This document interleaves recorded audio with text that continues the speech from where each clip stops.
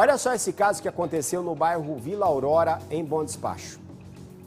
Toma cuidado, hein? Um morador de um prédio ligou para os bombeiros e contou que viu algo parecido com uma cobra, porque estava um pouquinho escuro, entrando na frente de um dos carros que estavam na garagem. Os militares foram até lá, olha só a surpresa. Tamanho da menina.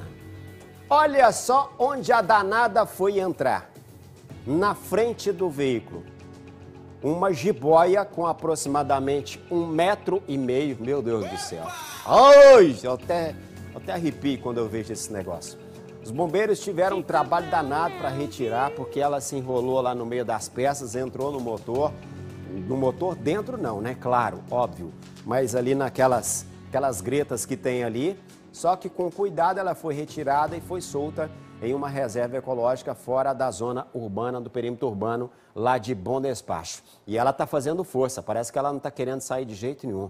Por que, que esses animais procuram esses locais? Geralmente para se aquecer, principalmente, motor, né?